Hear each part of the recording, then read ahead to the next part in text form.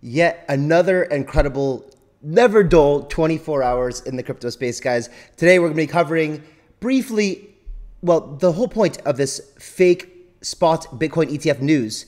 There, I'm not going to go into too much because it's been covered to death already. But for me, it was absolutely crazy. I was waiting to go into this event when the news broke and I was trying to verify it. And then you wouldn't believe what happens to me, guys, after this. Just like 45 minutes after this, you'll never believe. I'll get into this in just a second, but this is my actual, I'll play this for you a second, my actual video recording where I'm sitting. This is the editor in chief of Cointelegraph and Mario. I was at this event.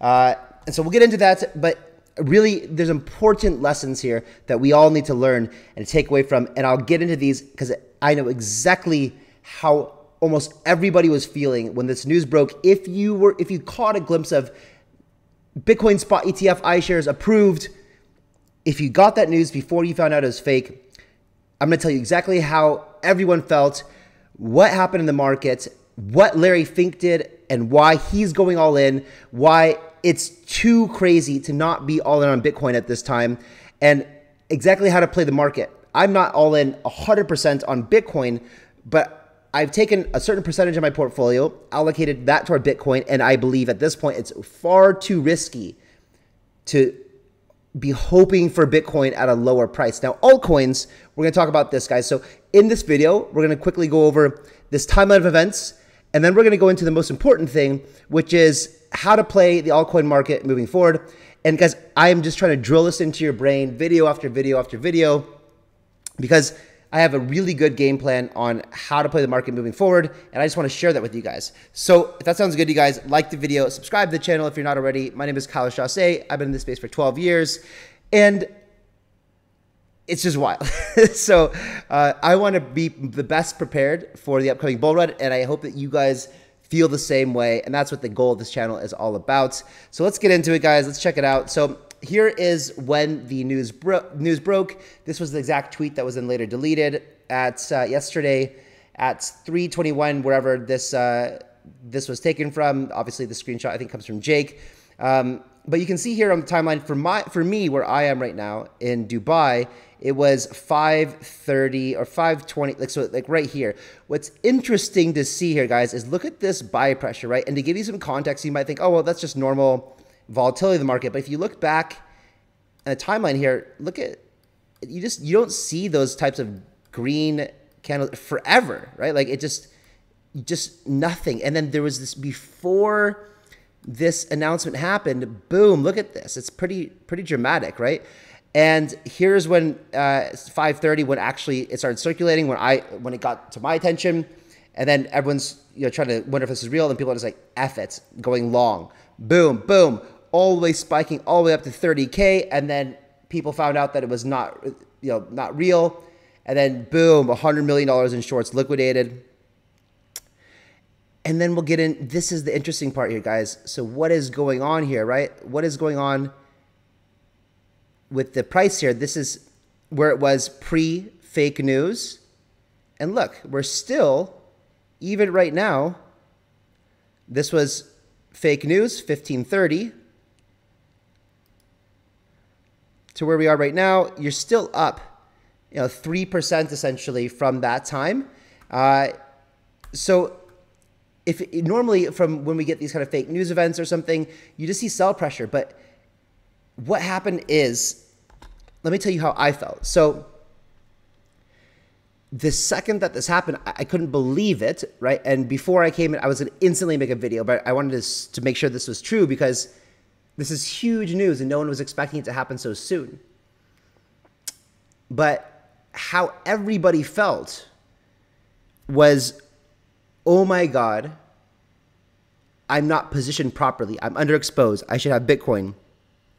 And that is why you see this continued, because this is everybody here realizing I don't want to be caught in that situation because because what happened, guys, if you check this out again here, what you see here from, let's say even even th- this right here is probably some sort. I don't know how it happened. I'm not going to speculate. I'm not going to blame, blame Cointelegraph. You know, things happened. I don't know what happened, right? But there was some manipulation happening here, right? And so you see pre if this is the if this is someone planning to buy this pump, right, all the way to the pump, this is a 10% price pump, right? And so if it could pump 10% on fake news, imagine all the people that were waiting for confirmation like me who know better than to buy without confirming from the actual source itself. Imagine the pump that would have happened if it was actual real news, right? Before BlackRock got on the phone with all of their investors and associates and started shilling it and buying and buying and buying. If it would have been confirmed from actually BlackRock or the SEC, we could have seen a 40, 50% pump, no problem, right? So, so you don't want to be caught with your pants down here. So let's get in back into the timeline of events and just real quickly, right? So Cointelegraph was the first to break the ETF approval. Bloomberg uh, ETF analysts asking for a source. Then you see Eleanor, and guys, I retweeted all this stuff too. If you're just following me on, on X, you, you will get the most breaking news uh, as it happens. Um, but you know, you can see that, yeah, so this was 100 million uh, liquidated, boom, boom, another day in crypto. Uh, but this is, this, so this is, this sentiment that I had is shared amongst a lot of people. Guessing a bunch of people poop their pants and won't risk being left sidelined again going into that, right? So the Bitcoin price is, is obviously not is not priced in. Now, I made this tweet because I can imagine that Gary will try to use this potentially, and it's and, and yes, there's a bunch of people in the comments saying that that yeah, it's like manipulation happens in all markets, not just ours, and that this is can't be used. And I agree with all of you guys. Like, it doesn't make any logical sense for them to use this against us as the main reason what Gensler has said, as you can see here in this post. Uh, you know, Bitcoin manipulating uh, Bitcoin pricing, right? And but we already know that the the courts have ruled this capricious and and, and BS for a reason, and it's not a good excuse to prevent an ETF being. Uh, being broadcast or, or being, being uh, accepted. So you can see that here, uh, this this tweet here, this post, um, 1.1 million impressions, and uh, you can see where this guy was. This is me just sitting in the front row.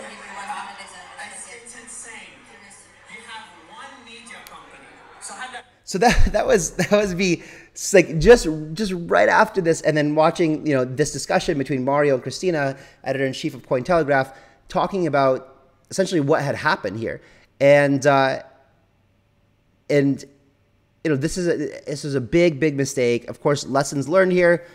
And in the traditional markets, you know, for any type of market manipulation, if it can be tied back to someone intentionally doing it, this is serious, serious jail time. So uh, I, I hope that you know this doesn't cause anything. But again, what it did do is it really, and this is just Cointelegraph coming out and saying, you know, admitting the thing and then giving you kind of this post mortem, the same thing that a, a, a, project would do if they had a hack. They would come and say, hey, here's what happened. Here's a series of events.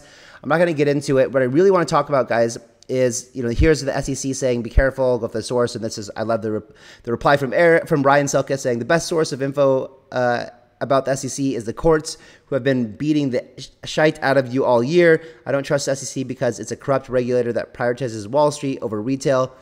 ESG, ESG disclosures over capital formation, and foreign utilities over U.S. investors. Um,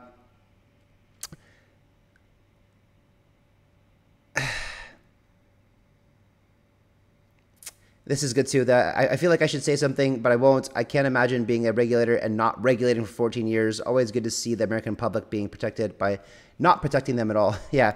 Uh, so what I really want to get into, guys, let, us listen to Larry here and uh, and talk about what's going on in the market and this positioning that people are now taking. And because we we were just at 26.5 the other day, and now we're at 28.5. Hold on. The rumor, I think this rally is way beyond the rumor. I think the the rally today is about a flight to quality with all the you know all the issues around the Israeli war now um, global terrorism. And I think there's more people running into a flight to quality, whether that is in treasuries, gold, or crypto, depending on how you think about it. And I believe crypto will play that type of role as a flight to quality.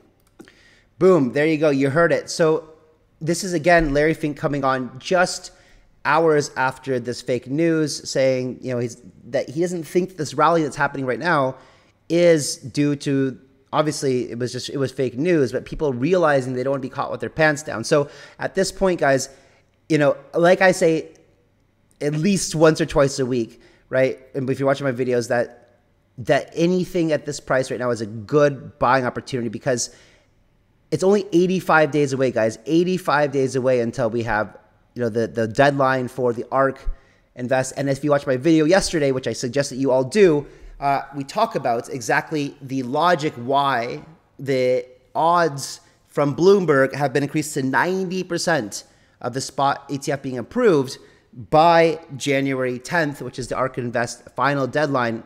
But like I keep saying, that this ETF could get approved any day. And yesterday you saw a taste of what that looks like. It was just a taste. So don't, so, so why would you be waiting? And I, like I always say, guys, I, like I always say, when Bitcoin is sitting at, you know, $500,000 or like Arthur Hayes says, $750,000, right, by the end of 2025, do you really care if you bought Bitcoin at 28,500 or would you be kicking yourself because you didn't buy it at 23,000 or something, right? So it's still in my view incredibly cheap. Now yeah, and, and like Will, Will Clemente says, if you think Larry shilling Bitcoin on um, live TV is cool, wait until BlackRock's entire army of financial advisors is doing it. And I say this time and time again, right? It's just going to be so much money that flows into it. It's going to blow people's mind. I mean, it shot up to $30,000 in 30 minutes uh, on fake news with just retail getting involved. I mean, just imagine when it actually actually gets approved. And Alex comes and says, "Yeah, expect a 20% uh, day move when it's approved." I think that's undershooting it. I think that this, it might even be more than that. But the main question here is, what am I doing with alts, guys? And now I'm going to show you here that while Bitcoin pumped quite a bit, altcoin or Ether didn't pump at all this week, right? Bitcoin's up 4.2% for the week when Ethereum is just up 0.7%. And most alts aren't up very much at all, you know, compared to Bitcoin, right? So what we do know is that, and, and here's my thesis for the whole video, right? Is that you're gonna have time. You're gonna have time. I don't expect alts to pump like crazy. I think right now is the best time for us to be talking about which ones have been doing extremely well in the bear market, right? And you you want to look at that because um, if they haven't had their run in a bull market, and they've been doing incredibly well in a bear market, right? Things like things like Hilo that I talk about, Dubs, uh, Rollbit, right? Kaspa, like these things have all been haven't had their opportunity for a bull market, but they've been performing very well, right? Very very well, and we talk on this channel all the time about why they're performing well: real revenue, real use cases, real users, real adoption. So I'm I still even though my I'm happy with my position in Bitcoin, I'm all in from the from my the percentage of my portfolio that I want to get want I want to allocate toward Bitcoin is there now, right? I'm not waiting for a dip in Bitcoin. We could have one, and if we have a black swan event, is it possible Bitcoin pulls back? Yes, maybe, but at this point it's too risky because it's a maybe. And if Bitcoin or ETF gets approved tomorrow, we could likely see a 40 and then then you will really be kicking yourself that you didn't have as much bitcoin as you wanted to have when that approval hit. But from what we can see here is eth is not getting that kind of response. It's a bitcoin spot etf that will be approved first. And so i believe that even if this happens right let's say that we don't have a a black swan and that we do get the bitcoin etf approval i expect a huge pump in bitcoin and then I expect some delay before altcoins start pumping. So it gives you time. And if that, but believe me, if that spot Bitcoin ETF is does get uh, approved, or when it does, I will then for sure come back into all the alts I sold 50% of that I talked about in my videos. And uh, if you guys haven't seen that, make sure that you're subscribed to the channel, man. I, am telling you my playbook play by play. So I am positioned still uh, with dry powder sitting on the sidelines in case this war expands. And I, I talk about all this guys in my video yesterday. It's really, really good. Go watch it if you haven't seen it. And uh, the whole logic behind why I think a black swan still could happen. Of course, as we get closer to November, that's less likely to happen, in my opinion. And uh, once we get, you know, once the presidential elections intensify, um, that is is significantly less likely to happen. And uh, and so yeah, I, I like I said, I would like to be back in the market completely by November. So I'm thinking that you know maybe we could see something in 13 days, a black swan, and if that happens, I'm gonna be really well positioned to buy back in my favorite alts at a very big discount, 50% maybe. And uh, and if it doesn't happen, cool. Uh, I'll, I'll buy, back, buy back in, right? Because I'm, I'm pretty confident. Um, I would like to be back in the market by early November. All right, guys, that's gonna wrap it up for today. I hope that you enjoyed it. I will catch you tomorrow. See you later. Bye bye.